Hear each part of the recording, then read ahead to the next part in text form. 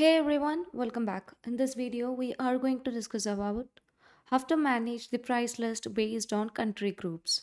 To manage with this, let's move on to the sales module. Uh, and under the configuration settings, we can manage with the price list.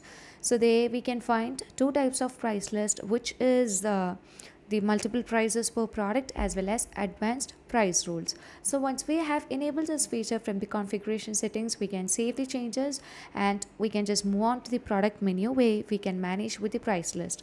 So we know Odoo is a large community and it has got customers from different country.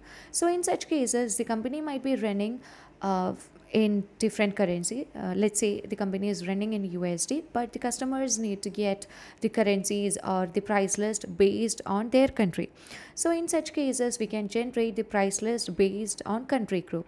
Here let's say we have customers from india as well as from china and we will be generating the price list based on indian price list as well as based on the uh, chinese price list so here i have already created the indian price list and chinese price list where you can just provide the name of the price list and you can give the currency over here.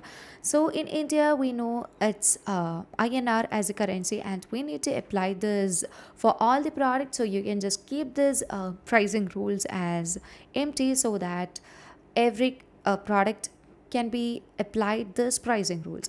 Now um, you know under the configuration tab we have a field called country groups. Currently we need to apply this uh, price list for indian customers. So you can just choose indian as the country group over here.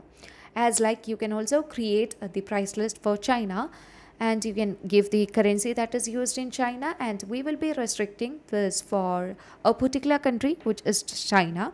Now let's move on uh, to the uh, sales module like we were in the sales module itself.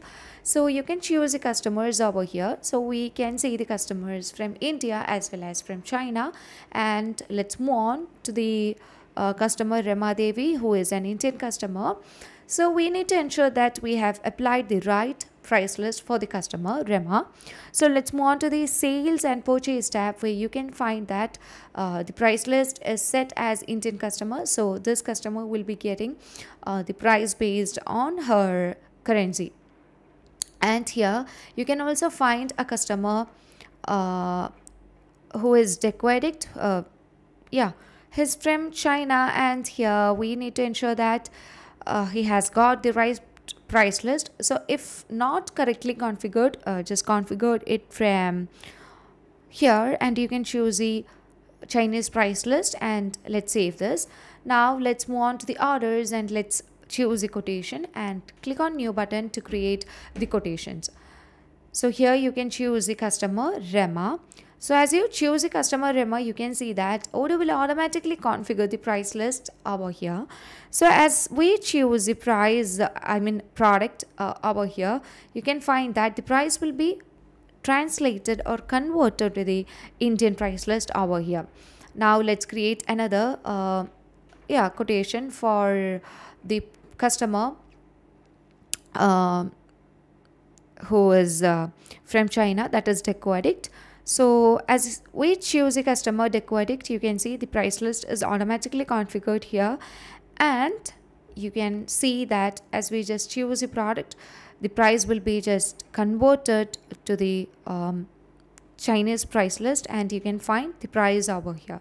So this is how we manage with the price list based on country groups. So hope this video clarifies your doubt on how to manage the price list based on country groups so if you want to uh, know more about Odoo or you need Odoo customization, feel free to contact Team Cybrosys. Thank you for watching the video. Have a nice day.